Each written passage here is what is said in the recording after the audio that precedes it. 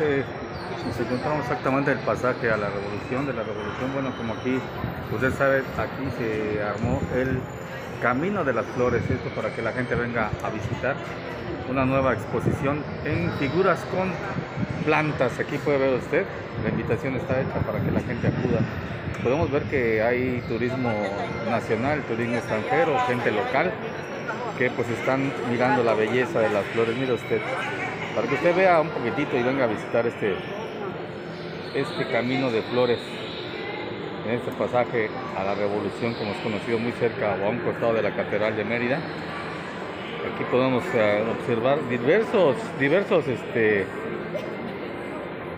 diversas flores, diversas flores en su especie. Aquí podemos ver eh, realmente cómo está. Aquí la gente pues empieza a, a ver cómo, cómo está esto.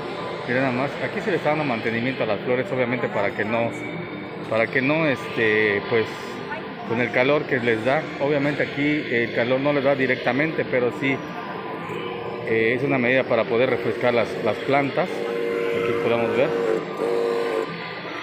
Estas, estas, estas este, estatuas hechas con flores, exactamente con árboles. Mire este, este, qué bonito está.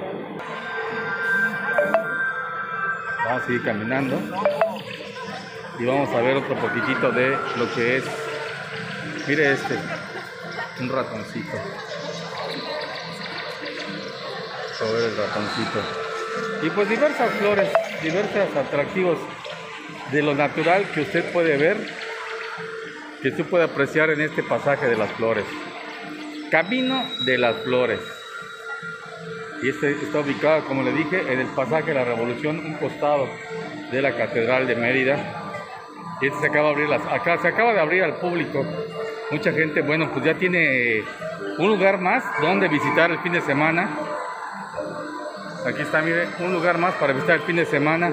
Recuerde también que el Cinemex cierra el día de hoy, último día del cierre de Cinemex, el antiguo Rex, que cierra sus puertas. Y también el 2 de abril termina la exposición de dinosaurios. Día 2 de abril termina la exposición de dinosaurios.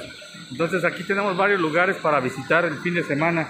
Y ya que los pequeños salieron de vacaciones, bueno, pues esto puede ayudar un poquitito a que se, pueden, se puedan eh, tener lugares para, para, diversión y para el entretenimiento de los pequeños.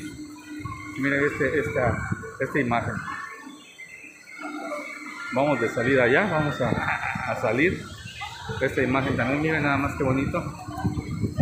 Entonces la invitación está hecha para que acuda eh, pues el fin de semana, como usted puede apreciar, en el, el, Camino de las Flores, que se encuentra ubicado en lo que es el pasaje a la Revolución.